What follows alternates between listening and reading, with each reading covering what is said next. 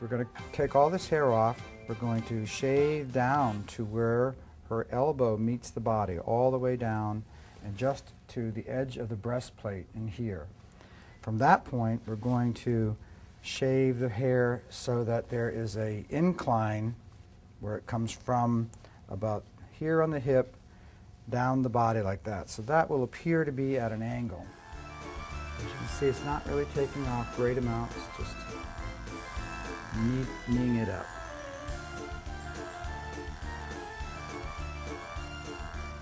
Of course, afterwards, with my scissors, they'll come along and get those wild hairs off.